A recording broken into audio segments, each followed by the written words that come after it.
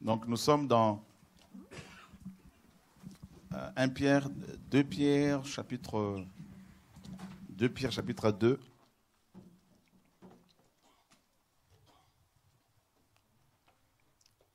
Nous allons lire simplement le verset 20. En effet, si après s'être retiré ou encore euh, après avoir échappé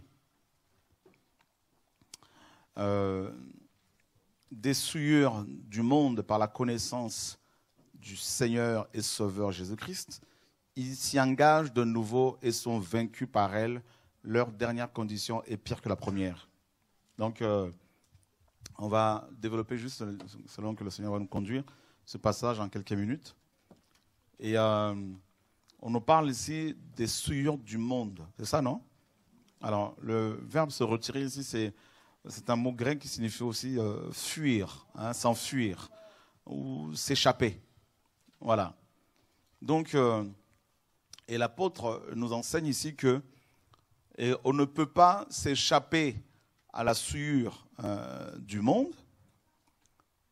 On ne peut être libéré de ce souillure-là que par la connaissance de Yeshua. Voilà la vraie délivrance. La connaissance de Dieu. Je lisais ce passage et euh, voilà, en même temps j'étais enseigné. Et euh, donc, quand nous mettons l'accent sur la relation euh, que nous sommes censés avoir avec le Seigneur, c'est que nous le faisons, nous ne le faisons pas pour rien. Hein, nous le faisons avec raison. Parce que on ne peut rien obtenir du Seigneur sans la relation.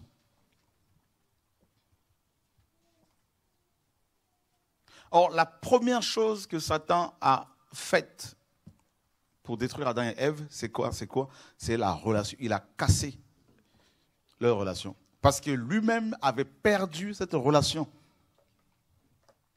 cette communion. Il était au ciel, il était bien avec les anges, il se jouissait de toutes les créations du Seigneur, cette beauté céleste et tout ça. Et quand il est devenu rebelle, Dieu l'a fait tomber du ciel sur la terre, l'a chassé du ciel, il a perdu quelque chose et il a tout fait, tout fait pour que Adam et Ève perdent, perdent également cette relation. Il était jaloux de leur relation, la relation qu'ils avaient avec le Seigneur. Il savait très bien que, et il sait toujours que tant qu'un homme est en relation avec le Seigneur, Satan sait très bien qu'il ne peut rien contre lui. Il ne peut pas le toucher. Donc à chaque fois que tu es tenté à pécher, à chaque fois que nous sommes tentés, poussés à faire le mal, il ne faut pas chercher loin, il faut comprendre que c'est la relation qui est menacée. C'est ta communion qui est menacée. C'est tout. Et euh, c'est pour cela que nous ne voulons pas, et nous le disons tous les jours, nous ne voulons pas être vos dieux. Vous ne devriez pas constamment aller voir un prédicateur, que ce soit moi ou quelqu'un d'autre, pour lui exposer constamment vos problèmes. Ce n'est pas biblique. Vous devrez connaître cela. Il faut grandir. Alléluia. Voilà. La vie chrétienne, pour, si vous voulez la comprendre, ben, il faut étudier la vie biologique, la vie physique. Quand un enfant vient au monde, cet enfant a besoin, dans un premier temps, d'être encadré par sa mère, aidé par sa mère. C'est normal. Les nouveaux convertis ben, sont aidés par les anciens, par les frères et sœurs, avec leur expérience, tout ça, ben, ils vont être aidés. Mais à un moment donné, il faut que ces chrétiens comprennent qu'ils doivent être matures, ils doivent grandir. Vous voyez C'est important.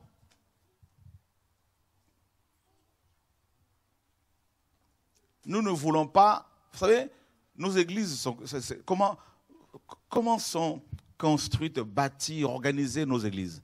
Ben, Elles sont organisées autour d'un homme, le pasteur.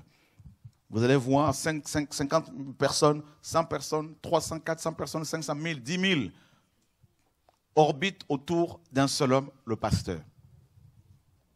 Ce n'est pas biblique. Je vois des chrétiens qui vont faire des kilomètres ici et là pour aller chercher une délivrance. Et comme s'ils ne l'ont pas, ils vont voyager partout, partout, payer, dépenser beaucoup d'argent. Mais en fait, il y en a même qui finissent par se décourager ou même finissent par aller voir des sorciers parce qu'ils veulent à tout prix délivrer. Ils ne comprennent pas que tout ça là, ça ne sert à rien. Est-ce que vous comprenez un peu là? C'est la relation qu'il faut d'abord chercher à bâtir. Parce que avec la relation que vous aurez avec le Seigneur, vous serez dirigé par le Saint-Esprit. Le Seigneur saura vous orienter, vous guider vers les bonnes personnes pour ne pas perdre votre temps inutilement. Et si Dieu vous oriente vers une personne, le Seigneur va parler à la personne concernée par rapport à vous. Et ça, c'est des choses que le Seigneur nous a fait comprendre après avoir fait beaucoup d'erreurs, après avoir erré ici et là.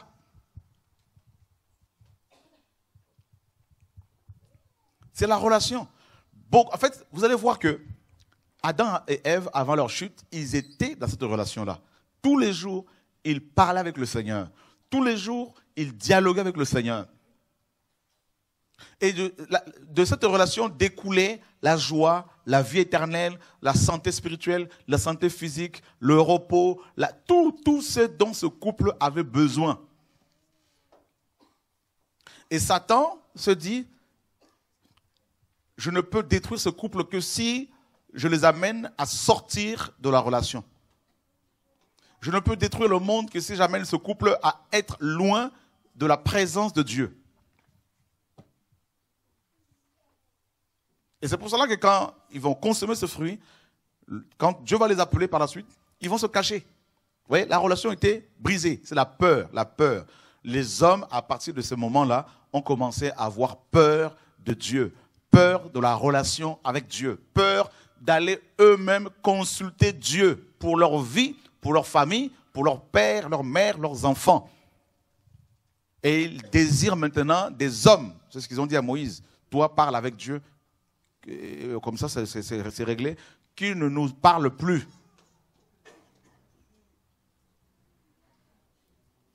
Voyez? Frères, sœurs, nous ne voulons pas vous manipuler. Nous ne voulons pas abuser de vous. Nous ne voulons pas. Et c'est ça le message qu'on a reçu. Je me rappelle quand le Seigneur m'a amené au ciel, une fois il m'a amené au ciel, il m'a dit beaucoup de pasteurs, après avoir gagné les âmes, ils me le présentent et le repartent avec. Quand j'entends des chrétiens dire Oh Seigneur, le Dieu de tel pasteur m'a délivré, ah, mon cœur est déchiré. Je me dis, mais en fait, beaucoup, ils, sont, ils ne veulent pas. Oh, l'homme ne veut pas de Dieu. Dans les Écritures, on a bien dit, il n'y a aucun autre nom qui nous a été donné sous le ciel par lequel nous devions être sauvés, délivrés, guéris, restaurés soutenu. Aucun autre nom. Alors, pourquoi aller associer le nom de ton pasteur, d'un pasteur, au nom de Yeshua? Vous allez me dire, mais oui, mais ils vont se justifier en disant, oui, mais Abraham, euh, Dieu, on l'appelle le Dieu d'Abraham, disait qu'il d'Israël. Oui, mais ça, c'était avant la croix. Parce que son nom le plus connu, le plus grand n'était pas révélé. Mais à partir de la croix, c'est fini ça. Quand les sept fils de Séva ont dit à cette personne possédée, quand ils ont voulu chasser les démons qui habitaient cette personne, vous vous rappelez dans Acte 19, ils ont dit quoi? Nous vous chassons au nom de Jésus-Christ que Paul prêche. Vous voyez, non? Donc, c'est ce qu'il faut éviter. N'allez pas dire aux gens, hein, le Dieu de tout m'a délivré. Non, je ne suis pas, je ne veux pas que, que vous mettiez mon nom au même niveau que le nom de Yeshua, notre Seigneur et Sauveur nous devons être libérés de toutes ces choses-là. Le nom de Jésus-Christ est suffisant. Voilà. C'est le nom qui nous a été donné. C'est le seul nom et le seul qui existe. Quand je vois tous ces prédicateurs qui acceptent que des chrétiens aillent dire le Dieu de tel pasteur m'a délivré. mes, mes amis, laissez-moi vous dire, leur place, s'ils meurent dans cet état, s'il n'y a pas la repentance, ils vont en enfer.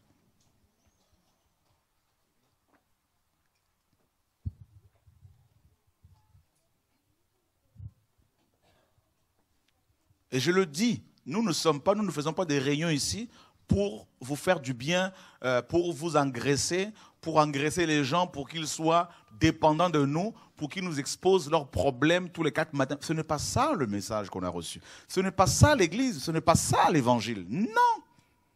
Tant que vous ne comprendrez pas ça, vous serez toujours les proies des charlatans.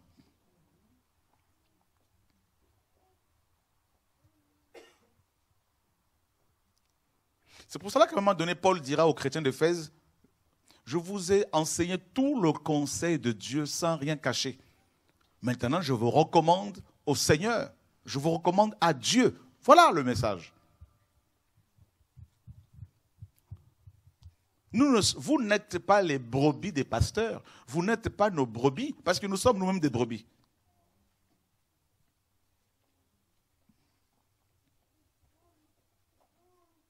Quand on était dans le monde, là, quand il vous fallait aller faire la cour à une femme, est-ce que vous aviez besoin d'un homme ou d'une femme? Non.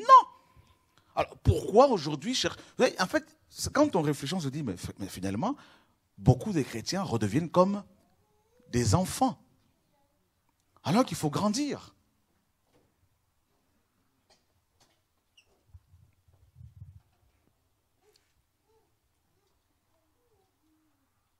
En fait, je m'aperçois qu'il y en a, ils ne sont pas des enfants. En fait, ils vont constamment voir des hommes, les pasteurs, pour les manipuler. Pour dire aux autres chrétiens, eh ben, on a vu déjà avec l'apôtre là-bas, on a déjà vu avec le pasteur. Et ça, c'est très, très dangereux parce qu'ils remplacent la parole de Dieu par les hommes, comme Romain 1 le dit. Au lieu de dire Dieu a dit dans sa parole, ils vont dire j'ai déjà vu avec votre patron, votre chef, donc taisez-vous vous les autres. C'est de la manipulation. Voilà. C'est la relation.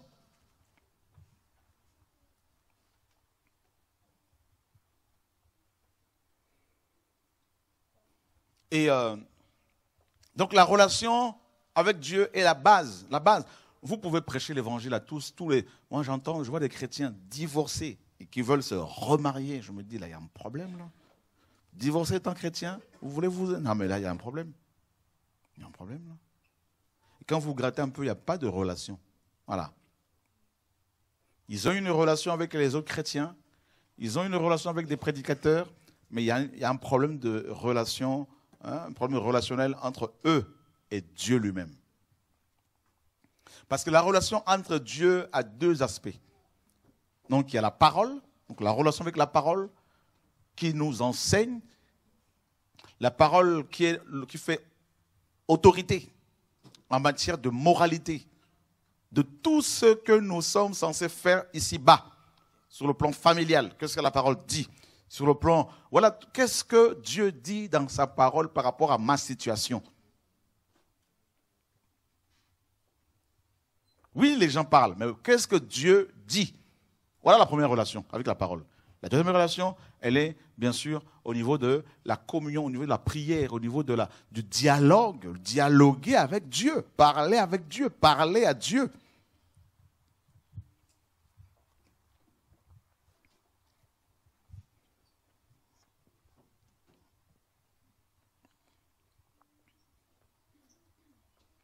Je me rappelle toujours d'une fois, de, la fois où après l'enseignement ici un samedi, j'étais très fatigué, je suis allé à côté. Une femme voulait à tout prix me voir, elle était même énervée, tout ça, elle s'énervait. Elle dit Ça fait six mois que je veux vous. Oui, mais ça fait six mois que vous voulez me voir, mais je, suis fatigué. Euh, ça fait six mois, mais vous, vous aurez pu déjà voir le Seigneur plusieurs fois. Ouais, vous vous rendez compte? Ensuite, je lui demande, mais pourquoi voulez-vous me voir? Elle me dit, mais c'est parce que je veux vous exposer mon problème de santé. Je lui dis, mais madame, quand moi j'ai des problèmes de santé, est-ce que je viens vous chercher pour vous l'exposer? Vous, vous vous rendez compte à quel point des chrétiens prennent en otage des prédicateurs? Vous vous rendez compte? Et certains prédicateurs qui sont mal intentionnés, voyant cela, ce comportement, ben, ils vont se dire, eh ben, on va se faire de l'argent. Comme ils ne veulent pas de la vérité, eh ben, on, va les, arnaquer. Et voilà comment nos églises fonctionnent. Oui, il y a des frères et sœurs qui ont reçu des dons de guérison. Oui, mais ce sont les dons de, guérison que Dieu dirige.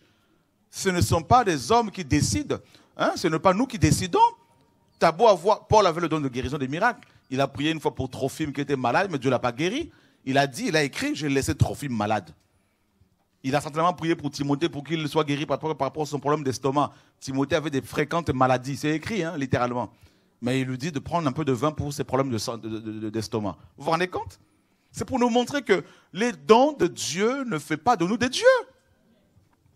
Ne font pas de nous des dieux. Les dons ne font pas de nous des dieux. Dieu est Dieu. Tu as beau recevoir les dons de Dieu, mais tu ne seras pas pour autant Dieu. Donc je me répète encore, les dons de Dieu ne font pas de nous des dieux.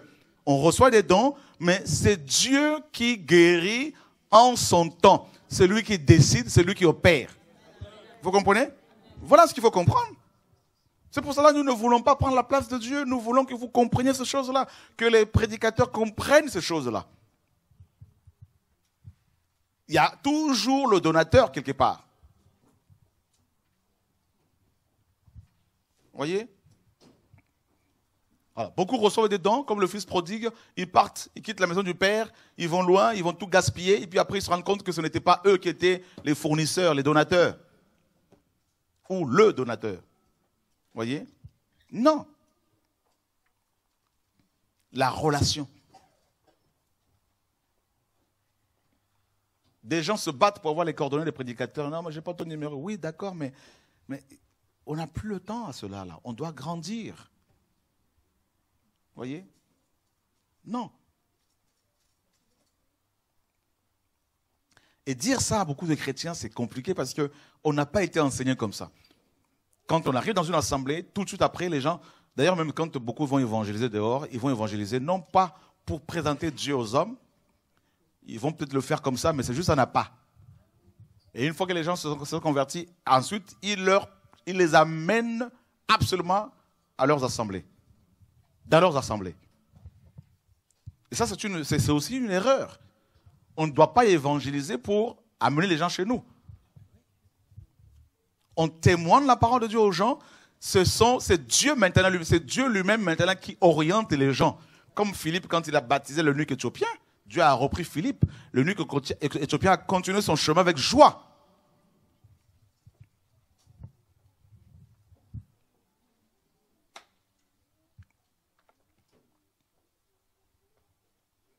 La relation.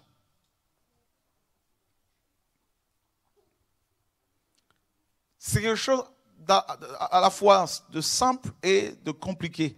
Parce que Satan combat l'homme. Tant que l'homme, à chaque fois qu'un chrétien veut avoir une relation avec le Seigneur, veut développer sa communion avec le Seigneur, et l'ennemi va l'attaquer au niveau des pensées. Tu veux lire la Bible, tout de suite une pensée qui vient. Tu veux prier, tout de une pensée qui vient. Le téléphone qui sonne, quelqu'un qui sonne à la maison, quelqu'un qui t'appelle. Il y a tout ça là voyez? Donc tout ça pour perturber notre communion avec le Seigneur. Voilà. Des gens qui débarquent, des gens qui appellent, des gens qui s'y, des gens. Et, à chaque fois, ben, t'as plus, pas le temps. T'as plus le temps. Donc du coup, ben, plus tu t'éloignes du Seigneur, plus ben, tu es sec. Des chrétiens ne veulent pas eux-mêmes aller puiser de l'eau auprès du Seigneur. Ils veulent, en fait, ils sont tellement paresseux, ils veulent qu'on fasse tout pour eux. Amen? Là, il y a un problème. Le Seigneur a dit, venez, venez. C'est ce qu'il a dit. Tout le monde est invité à cette, à cette source-là. Venez, venez. Il a dit, venez, à moi, à moi, venez. La relation. Et là, des gens veulent la délivrance, des gens veulent la guérison, des gens veulent, mes amis, je veux vous donner, je vous donne juste, ce sont, c'est un message qui peut paraître simple. Oui, il est simple. Mais il est libérateur. Parce que je l'expérimente. Pendant des années, on m'a fait croire que je ne pouvais pas euh, travailler pour le Seigneur si je n'étais pas dans une fédération de pasteurs, dans une fédération d'église. Je ne pourrais pas travailler pour le Seigneur si je n'étais pas connecté à des grands bishops ici et là. Vous voyez? J'applique ce que je vous dis et je vois les fruits dans ma vie.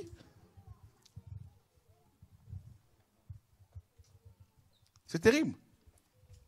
Regardez nos églises. On va chanter à la gloire des hommes. On va glorifier les hommes. L'église de papa tel, l'église de tel prophète, l'église de temps, l'église de... Et, Dieu dans tout ça, il est où? Vous voyez? Celui qui sauve, il est où? Celui qui guérit, il est où? Posez la question à tous ces chrétiens. Avez-vous une relation avec le Seigneur? Il y en a qui vont vous dire oui, oui, oui, mais regardez leur comportement. Regardez comment ils peuvent mentir. Facilement.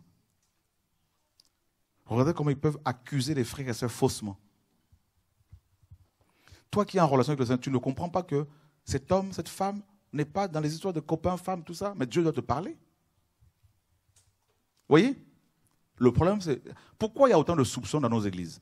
Pourquoi est-ce que, honnêtement, tout vient de la relation?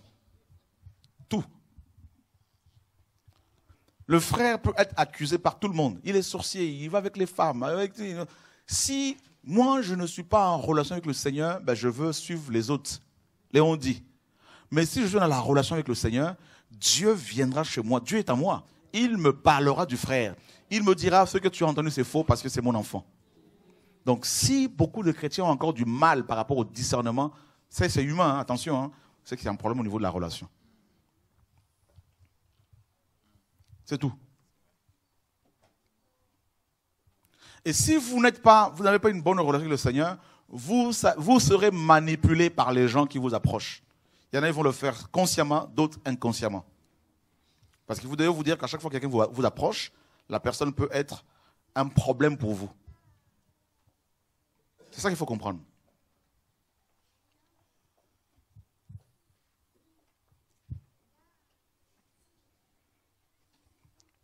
Il fut un temps où quand tout le monde parlait de quelqu'un, homme, il est comme ci, il est comme ça, une sœur, on pouvait suivre. Mais après, on se dit, non, non, non, non. Seigneur, qu'est-ce que toi tu dis? Et Dieu, dans les visions, dans les songes, il parle. Dieu, dans notre cœur, dans notre esprit, il atteste, il parle. Il dit, celle-là n'est pas comme ça. Celui-là, celui-là, il n'est pas comme ça. Après, tout le monde peut parler. Je dis, non, moi, Dieu m'a pas de ce frère-là. Voilà. C'est tout. La relation. Des chrétiens ne vont pas voir la vraie personne pour avoir les informations sur les uns les autres. Voyez? Aujourd'hui, la source des informations de beaucoup de chrétiens, c'est Internet, c'est Google. On tape le nom de quelqu'un, on dit, voilà comment il est, tout le monde parle de mal de la personne, eh il est la personne est comme ça. Et on la condamne. Et Dieu dans tout ça. Vous allez vous baser d'un instrument que l'ennemi a mis en place, que les hommes ont mis en place, pour juger un enfant de Dieu, pour juger un frère, une sœur. Mais ça, c'est grave. C'est grave.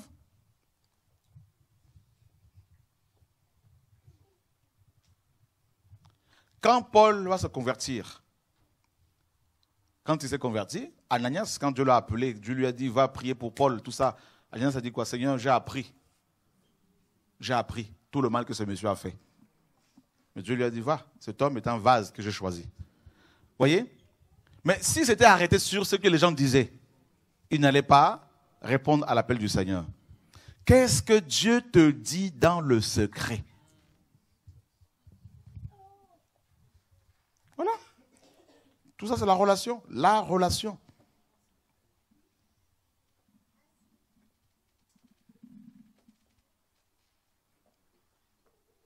Parce qu'aujourd'hui, les gens, ce qu'ils disent, ce qu'ils racontent, ah ben, nous sommes dans une génération les gens racontent toutes sortes de choses.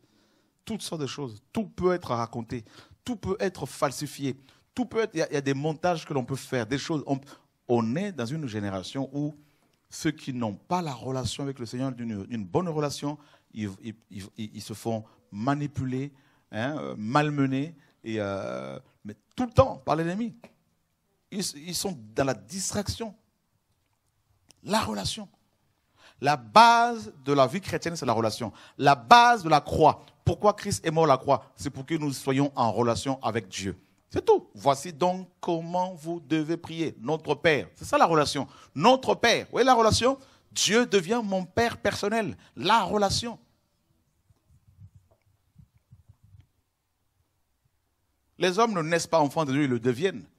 Donc il faut, que, faut que la relation soit rétablie, parce qu'elle été brisée par Adam et Ève, par, par leur chute. Donc la relation. Et c'est pour ça qu'ici Pierre dit, eh ben, nous avons pu, nous, avons pu euh, nous échapper à la sueur du monde par la connaissance du Fils de Dieu, la connaissance du Dieu véritable, la connaissance de Yeshua, donc la relation. C'est tout.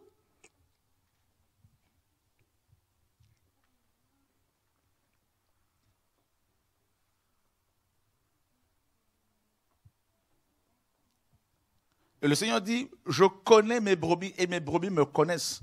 Donc, il y a une relation. Voilà. Dieu parle à ses enfants. Dieu dit des choses à ses enfants. Et je vous dis bien, les enfants de Dieu ne sont pas des pleurnicheurs, ils ne sont pas là en train de chercher des hommes à qui ils vont confier tous leurs problèmes. Non, ils plient le genou. D'abord. Ils plient le genou. Et c'est Dieu qui maintenant va parler de leurs problèmes aux gens. La sœur qui est venue, qui a été délivrée, qui est avec nous ce soir, que le Seigneur a libérée ce, samedi, elle est venue, elle, pas, elle, ne s'est pas dit, bah, je veux à tout prix parler de mes problèmes. Elle se dit, bon, ben, je veux me laisser guider. Voilà comment Dieu a parlé de son problème. C'est tellement simple. Si vous vous basez sur la relation, si vous ne parlez qu'au Seigneur de vos problèmes, d'abord hein, au Seigneur, ben, Dieu prendra soin de vous. Vous n'aurez même pas besoin de dépenser tout ce que vous dépensez là.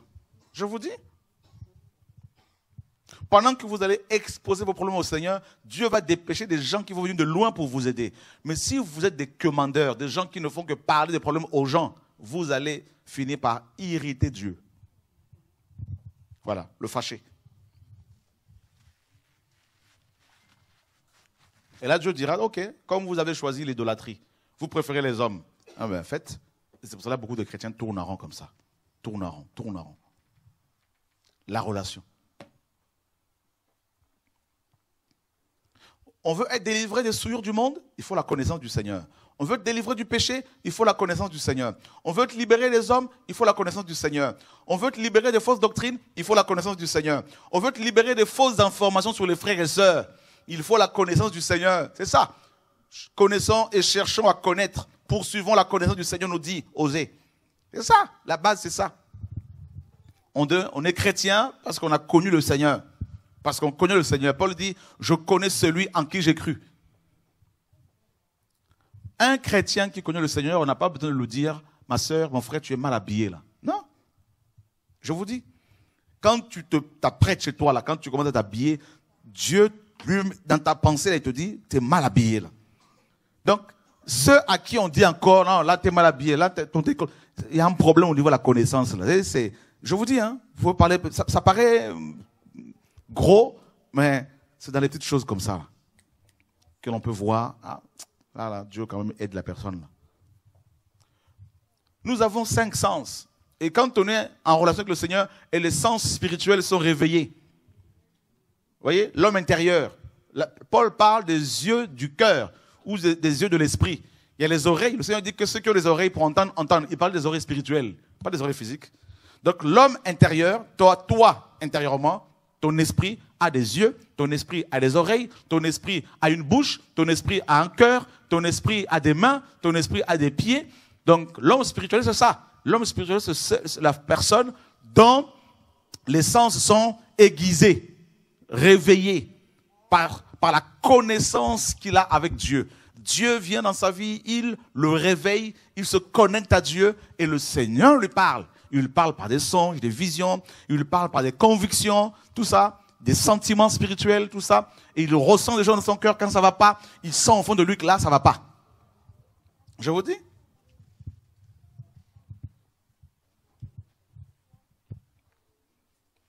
L'esprit en toi te met des limites. Là, là, je peux pas. Là, je peux pas aller au-delà. Là, là, tu sens, il y a un frein. Mais s'il n'y a pas ça, il faut revoir ta relation.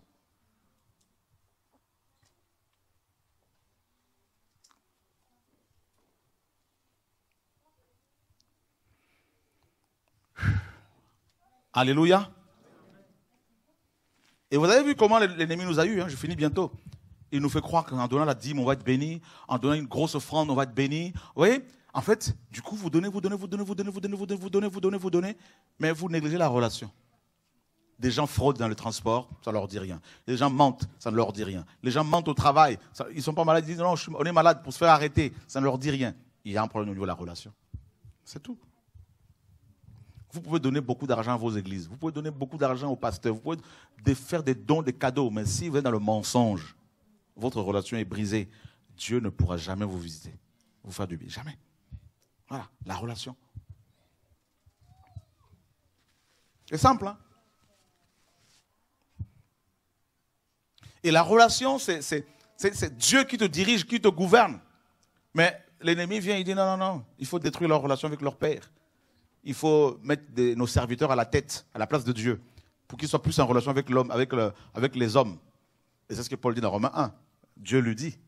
Hein, ils ont préféré, ils ont remplacé la vérité par le mensonge. Ils ont préféré servir et adorer la créature au lieu du Créateur qui est béni éternellement. C'est grave. Voilà. Du coup, ils se bousculent pour être proches des hommes. Mais ils ne se bousculent pas pour être en relation avec Dieu.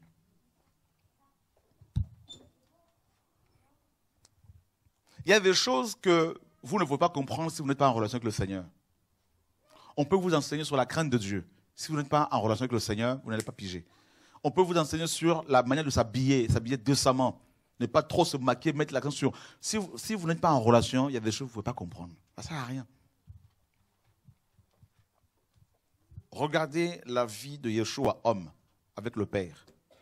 Quelle intimité. Quelle relation.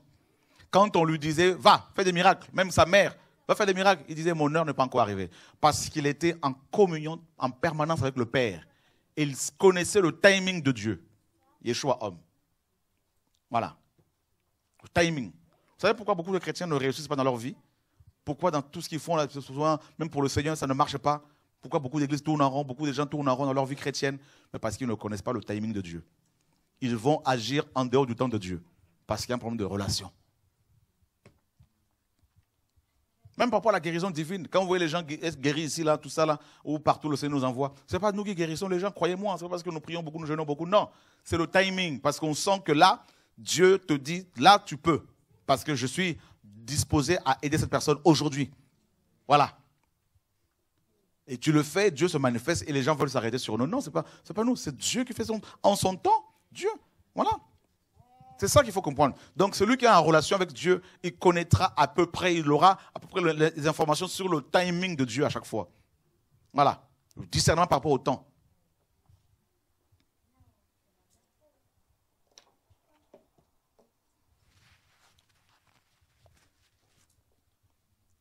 La relation.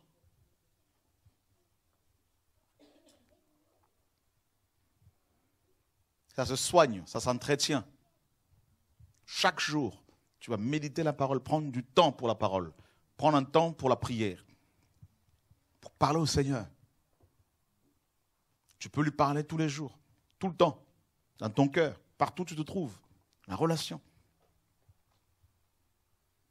Moi, je ne veux plus que la relation avec les hommes hein, affecte ma relation avec le Seigneur. Non, non, non, non, non, non. Cette relation elle est trop précieuse parce que des hommes peuvent vous côtoyer pendant quelques temps, après ils vont vous abandonner, ils vont vous critiquer, ils vont chercher à vous détruire. Mais Dieu euh, n'est pas comme ça. Voyez? C'est pour cela qu'il faut plus soigner sa relation avec le Seigneur qu'avec les hommes. Voilà. D'ailleurs, c'est la relation avec le Seigneur. Le Seigneur l'a dit, hein, tu aimeras, c'est le plus grand commandement.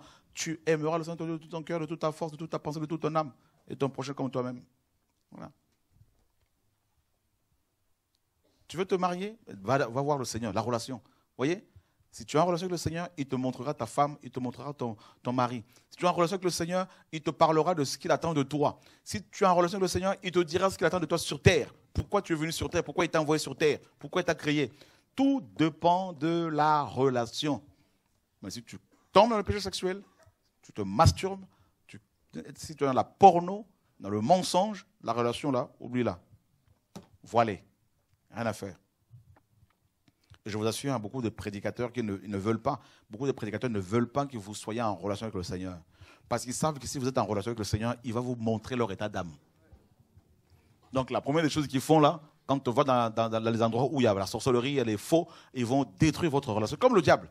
Comme ça, ils vont pouvoir bien vous manipuler. Voilà. C'est ça le truc. La relation. Toujours. On ne va pas vous dire, allez méditer la parole, allez vérifier. Non, pas du tout. Fermez vos Bibles, nous, on va faire tout pour vous. Voilà, on va prier pour vous. Prier, prier, c'est bien, mais il faut passer par l'homme de Dieu. Vous voyez C'est terrible, hein Et c'est pour cela qu'ils vont vous faire faire des choses. Tout ça, là, va faire 21, allez faire 21 jours de jeûne, hein, allez faire 40 jours de jeûne. Qui vous a dit de faire ça? Hmm? C'est écrit où? Daniel, Daniel a jeûné 21 jours, ce n'était même pas prévu. Ce n'était pas prévu? On vous fait faire des jeûnes bizarres, ça vous tue, hein, euh, tout ça, euh, on vous donne des choses pour, vous protéger, il faut faire ci, il faut faire ça. Oh Seigneur, c'est Alors que Dieu a simplifié les choses. Voilà. Simplifié les choses. Le Père. Les gens pensent que pour être sorti, des démons, il faut absolument qu'on leur impose les mains. Il faut absolument qu'ils rencontrent Chora ou un grand prédicateur ou une femme de Dieu. Non. Il n'y a pas de grand prédicateur. Il n'y en a qu'un, c'est Jésus. Celui qui délivre, c'est le Seigneur. On est d'accord, non? Je vous assure, si vous invoquez le nom du Seigneur chez vous, sincèrement, hein, si vous criez au Seigneur de toute votre âme, sincèrement, Dieu vous délivrer. Quiconque invoquera le nom du Seigneur sera sauvé. Vous ne serez pas délivré parce que vous appartenez à une église locale. C'est faux. Vous n'allez pas être délivré parce que vous côtoyez un prédicateur. C'est faux. La relation.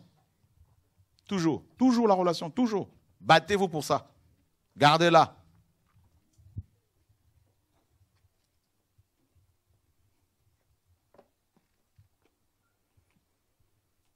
Ne vous laissez pas envahir par des gens qui vont vous perturber dans votre relation avec le Seigneur. Ah. Ça va très vite. La relation.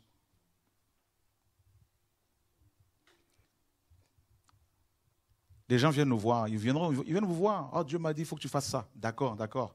Mais ce n'est pas ce que Dieu m'a dit. Je vous dis, hein, surtout pour les dirigeants, là, vous avez intérêt à être en relation avec le Seigneur. Parce que vous pouvez être malmené. Il y a beaucoup de gens qui... Vous avez vu le, jeune prophète dans la Bible, hein, avec le vieux prophète Mais Dieu a tué le jeune prophète. Pourquoi? Parce qu'il a minimisé la relation avec Dieu.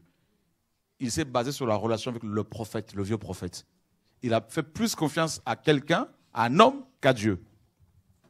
Paul dira, même si un ange venait vous dire quelque chose qui s'écarte de celui que nous vous avons enseigné, qu'il soit comment? Anathème. Voilà, c'est ce qu'il faut faire? Donc si une doctrine, un enseignement vient vous dire qu'il faut chercher un père spirituel, il faut chercher une couverture spirituelle, il faut chercher un mentor, il faut chercher quelqu'un qui va, n'est-ce pas, te coacher.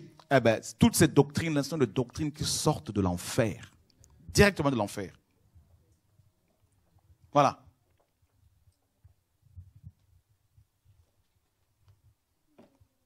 C'est clair, il ne faut même pas chercher les, quatre, euh, tous les... Non, non, c'est clair, la parole est claire là-dessus. Là-dessus, non, non, on dit c'est écrit. Moi, je crois ce que Dieu me dit. Le reste, ce n'est pas mon problème. Voilà. Donc, vous voyez, pour finir, vous avez vu toutes les, différentes sortes de relations que nous avons sur, sur Terre. Donc, d'abord, la relation avec Dieu. Nous, nous sommes à ce niveau-là. Vous voyez? C'est une relation qui doit être bilatérale.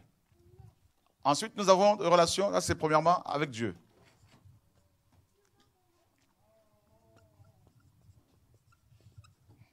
Deuxièmement, c'est entre l'homme et la femme.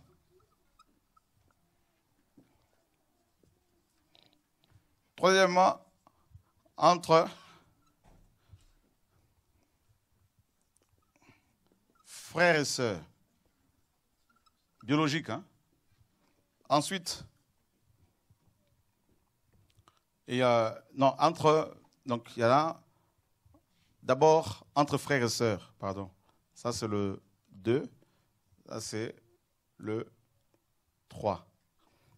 Avec Dieu, ensuite, les relations entre euh, l'homme et la femme, pardon. L'homme et la femme. Voilà. Entre frères et sœurs, même famille. Ensuite, entre les enfants et parents, entre amis, Voyez? Et, euh, et puis entre les connaissances, hein, sixième, euh, sixièmement, les gens que l'on côtoie comme ça, euh, au travail, à l'école, tout ça, là, dans la rue, partout. Donc nous sommes des êtres relationnels. Voilà. Mais la plus importante de relations, c'est celle avec le Seigneur. Donc pour être en bien, pour être en bonne relation avec tous les autres là, il faut être en bonne relation avec Dieu. Pour aimer sa femme bien comme il faut, selon Dieu, il faut être avec Dieu. C'est lui qui nous donne cet amour-là pour aimer l'autre. Hein, au point de lui pardonner malgré tout ce que la personne peut faire contre nous. Voilà, c'est important. Donc c'est la base, c'est la racine de tout, la relation avec le Seigneur. Donc c'est ce qu'il faut privilégier. Que Dieu nous garde, que Dieu vous garde en tout cas. Bonne continuation, bon courage. On se retrouve demain, si le Seigneur le permet, euh, euh, pour un autre enseignement. Je voulais parler un peu de la famille ce soir, mais bon, ça nous a conduit autrement. La relation. Donc la vraie délivrance vient de la relation. Vous voyez, non? C'est ça. Que le Seigneur soit béni. Donc ne courez plus après les hommes, cherchez plus les hommes. Allez vers Dieu maintenant. Parlez-lui. Seigneur, que ta parole nous libère, nous purifie, nous délivre nom de Yeshua. Que ta main soit sur ton peuple, au nom de Yeshua, notre Seigneur et Sauveur, Dieu d'Israël. Amen. Voilà. Bon courage.